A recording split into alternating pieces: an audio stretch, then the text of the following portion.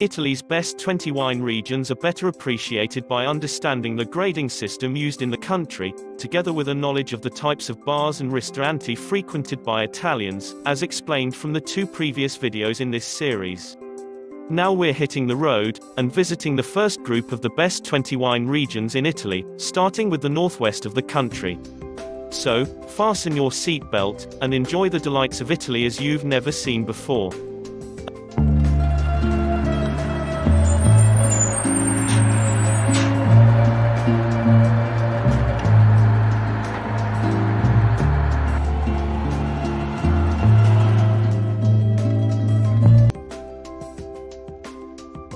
Before you start your Italian wine enlightenment journey, please subscribe to the Expat Essentials for Italy YouTube channel, and then click the bell icon to avoid missing out on important news and further videos on life in Italy. And feel free to share the link and video, too. Plus, if you watch the video to the very end, you'll be able to gain access to a special guide that will make your introduction to La Dolce Vita even sweeter.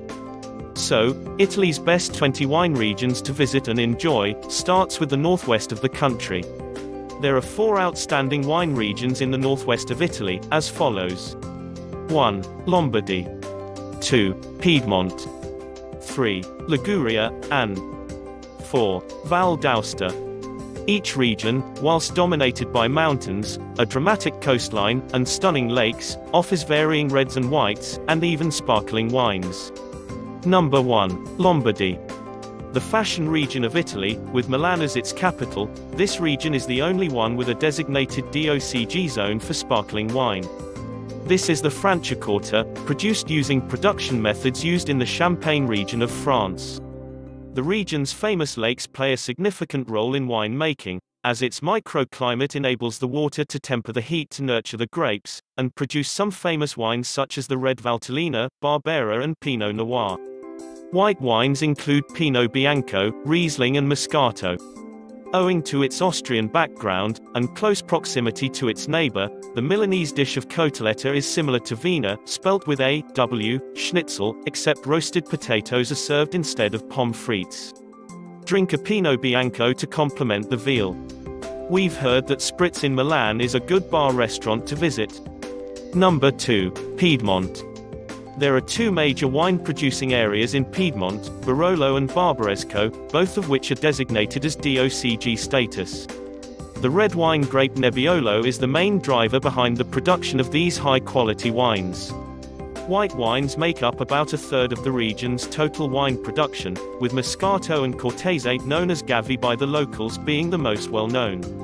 These wines tend to be sweet and sparkling, such as Spumanti and Moscato d'Asti.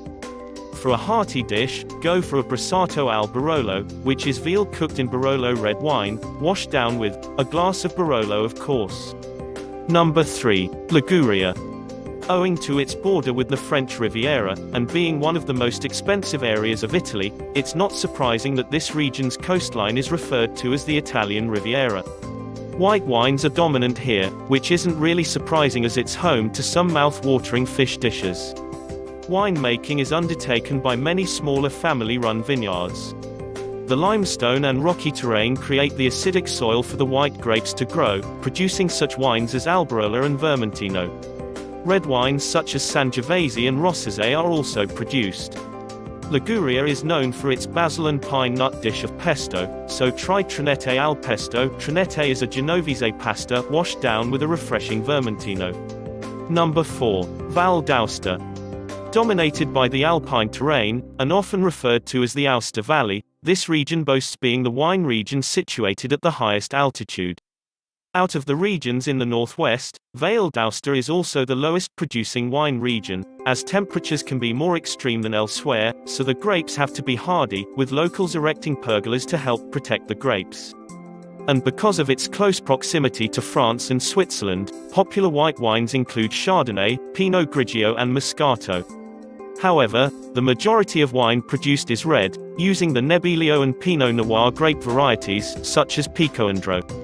This is particularly so on the lower slopes in the Donnas area, where the wine goes perfectly with delicious cheeses, red meat and local game. Now's a good time to let yourself indulge in one of those delicious Italian recipes you've always wanted to try, and sample that bottle of Italian red you've been itching to open and taste. In the next video, you'll get to know of the second of the 20 wine regions of Italy, in the northeast of the country. Here's to your next glass of Italian wine. And to ensure you don't miss out on any future videos, hit that subscribe button in the bottom right corner of this video, and then click on the grey bell icon to be notified when future videos get uploaded to this channel. Now for that special guide, entitled, How to Create Your Italian Experience, we referred to earlier. Just click on the URL link in the description box below this video. Plus, please leave a positive comment below. And then, please share with friends, too. Enjoy! Finally, before you go, check out the videos about to come up on the end screen, where you can find more helpful information to help you with your adventures as an expat in Italy. Until next time, ciao for now.